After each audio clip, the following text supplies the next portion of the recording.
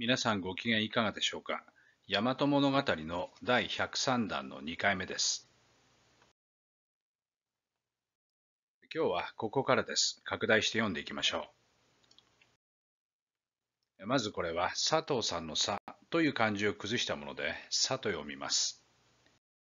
次はれんという漢字を崩したもので、れと読みます。これは八という漢字を崩したもので、はと読みます。これはそれという漢字を崩したものです。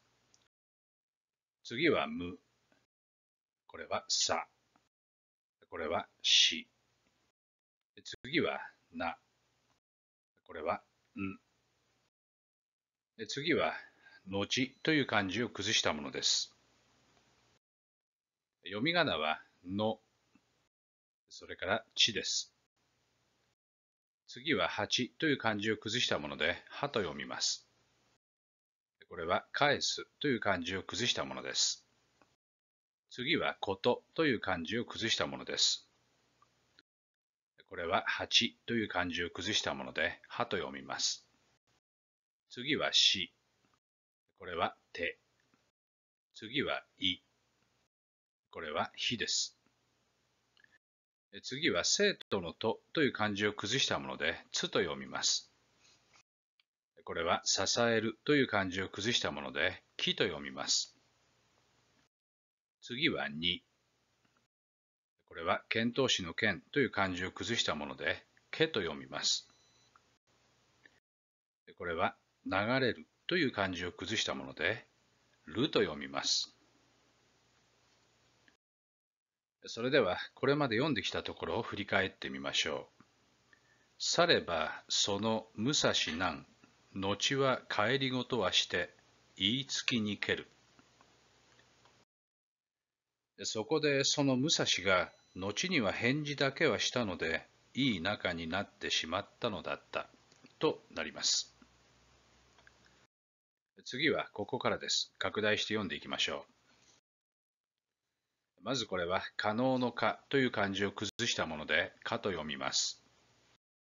次は多いという漢字を崩したもので、たと読みます。これはち。次はき。これはよ。次はかいという漢字を崩したもので、けと読みます。次はにという漢字を崩したもので、にと読みます。これはか。次は見るという漢字を崩したもので、みと読みます。次はな。これは可能のかという漢字を崩したもので、かと読みます。次はく。これはな。これはと。次はし。これは手です。次はよ。これはき。次は和。次は可能のかという漢字を崩したもので、かと読みます。次はう。これはと。次はにという漢字を崩したもので、にと読みます。次はな。これはん。そしてあ。次はり。これは遣唐使の剣という漢字を崩したもので、けと読みます。次はる。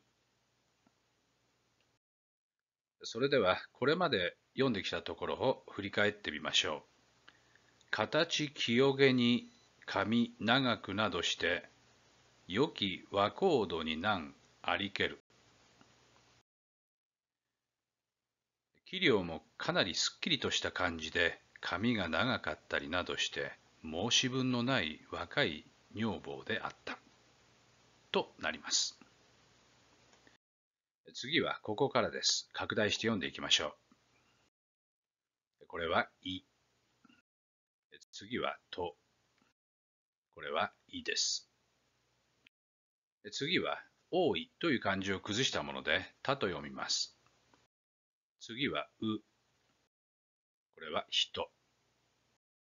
これは漢字を繰り返す踊り字です。次は、け。これは、その国の祖という漢字を崩したものです。祖と読みます。蕎麦屋の看板にございます。次は、う。これは、志という漢字を崩したもので、死と読みます。次は、け。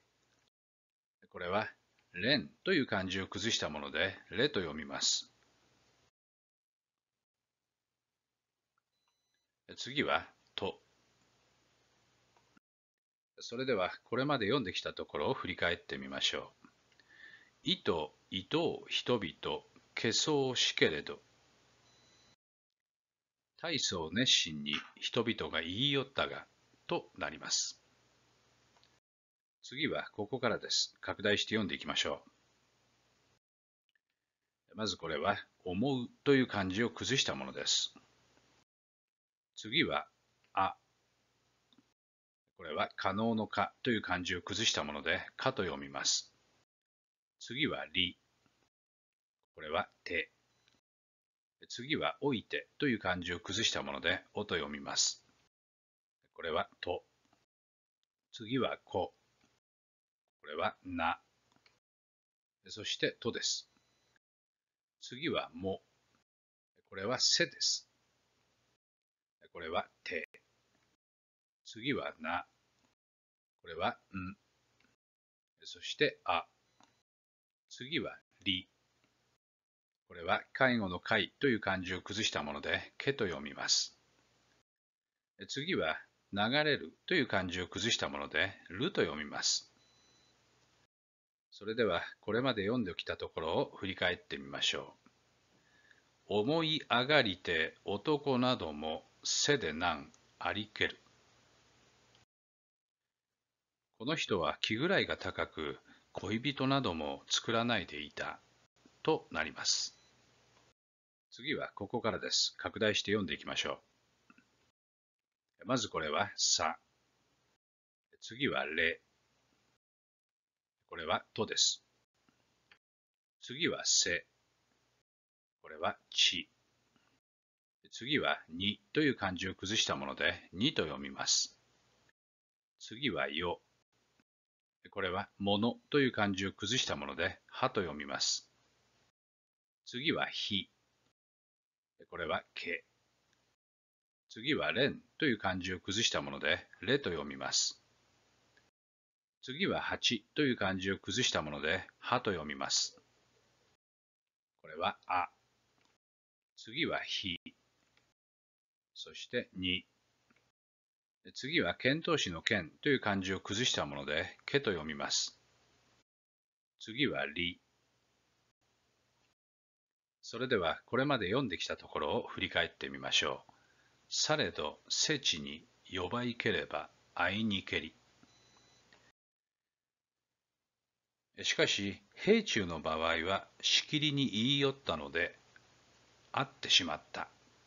となります。次はここからです。拡大して読んでいきましょう。まずこれは、そのという漢字を崩したものです。次は、あ。これは、し。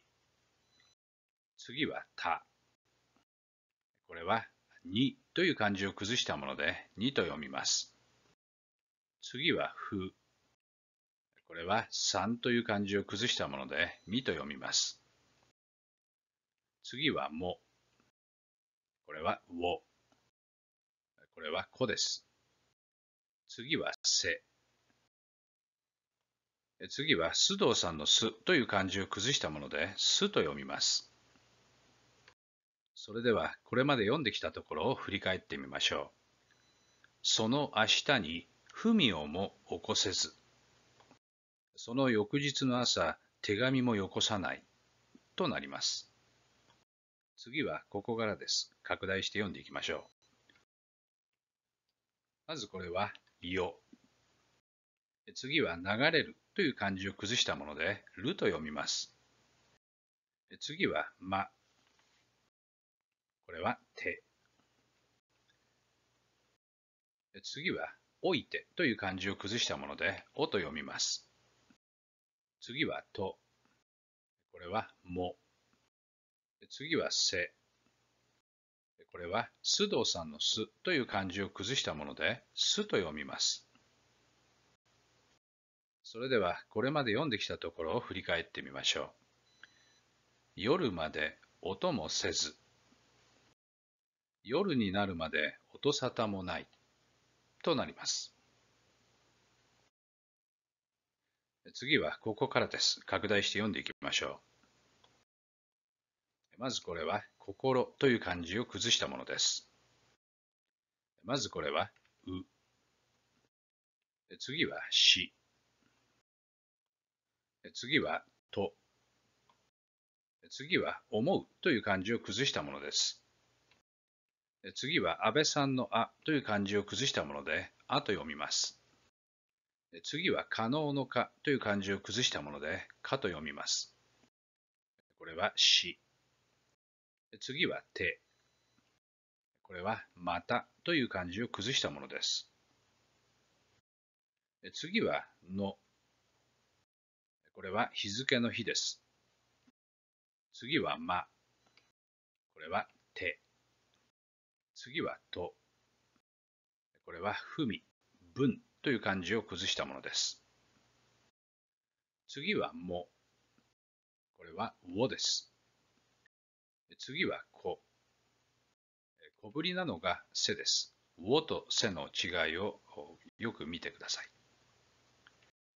次は須藤さんのすという漢字を崩したもので、すと読みます。それではこれまで読んできたところを振り返ってみましょう。心牛と思い明かして次の日までと文も起こせず。情けないと思いながら夜を明かしてまた次の日待ったけれども手紙もよこさない。となります。次はここからです。拡大して読んでいきましょう。まずこれは「そ」次は能力の能という漢字を崩したもので、のと読みます。次は夜という漢字を崩したものです。これはよと書いてあります。次は志という漢字を崩したもので、しと読みます。次は多いという漢字を崩したもので、たと読みます。次はま。これはち。次はけ。これは連という漢字を崩したもので、れと読みます。次はと。これは安倍さんのあという漢字を崩したものです。次はし。これは多いという漢字を崩したもので、たと読みます。次はにという漢字を崩したもので、にと読みます。次は生徒のとという漢字を崩したもので、つと読みます。これは可能のかという漢字を崩したもので、かと読みます。次はう。次は人。次はな。次はと。それではこれまで読んできたところを振り返ってみましょう。その世、下町けれど、明日に使う人など。その夜心待ちに待ったが、その翌朝召使う人などが、となります。次はここからです。拡大して読んでいきましょう。まずこれは、い。次は、と。これは、あ。そして、多いという漢字を崩したもので、たと読みます。次は、に。これは、2文字続けて、ものと読みましょう。次はし。次はたもという漢字を崩したものです。次はと。これはき。次は踊り字です。これはし。次は人。これはを。次はあ。これはり。これは踊り字です。ありありとなります。次はか。これはく。そしてあ。次は日。次は、立てまつるという漢字を崩したものです。読み仮名が付けられていますが、あまり関わりたくないのですが、読んでみましょう。えー、た。次はて。これはま。そしてつ。これはりです。この部分はりです。次はたもという漢字を崩したものです。次は手。それでは、これまで読んできたところを振り返ってみましょう。意と、あだに物したもうと聞きし人を、ありあり、各あいたて祭りたまいて。大層浮気者でいらっしゃると聞いておりましたが、あれほど繰り返し繰り返し言い寄りなさってから、このようにお会い申し上げなさいましたのに、となります。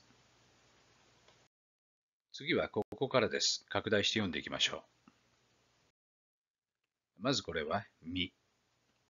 次は、つ。次は、可能のかという漢字を崩したもので、かと読みます。次は、ら。これは古いという漢字を崩したもので、子と読みます。次はそ。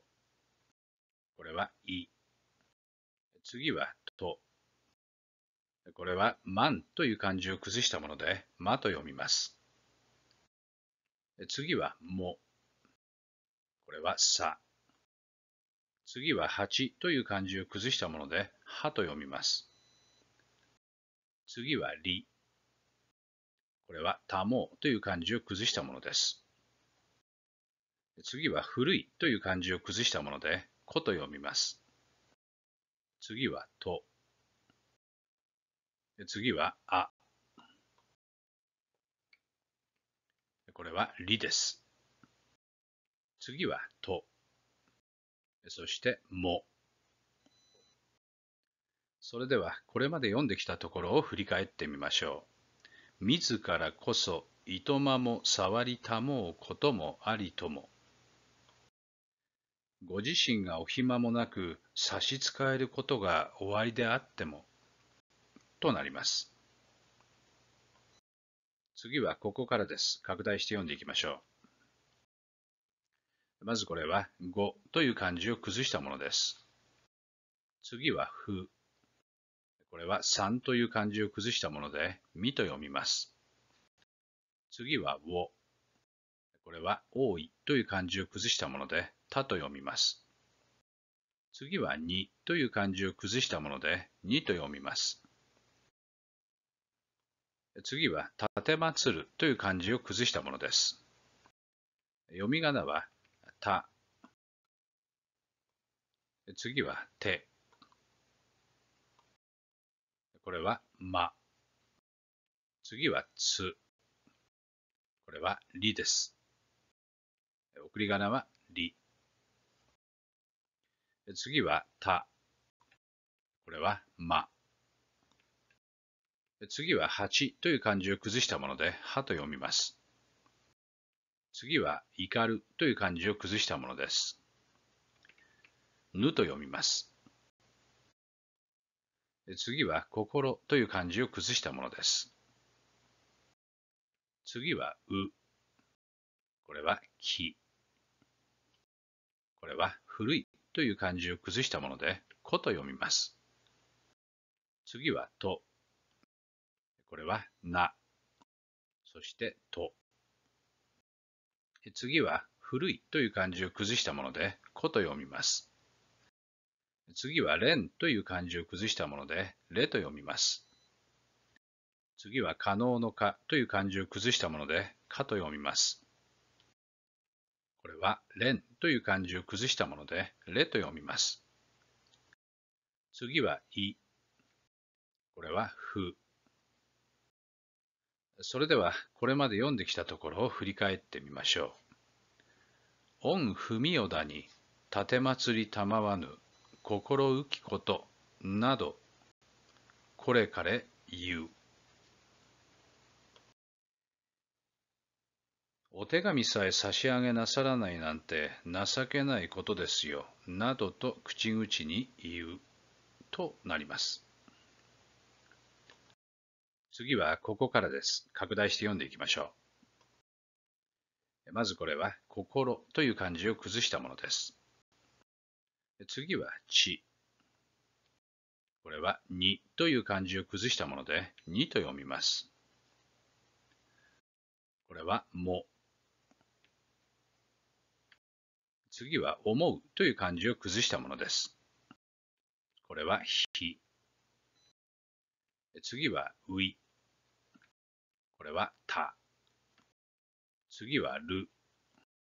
これはことという漢字を崩したものです。読み仮名は古いという漢字を崩したもので、こと読みます。次はと。これはを。そして人。次はも。これはいです。次はひ。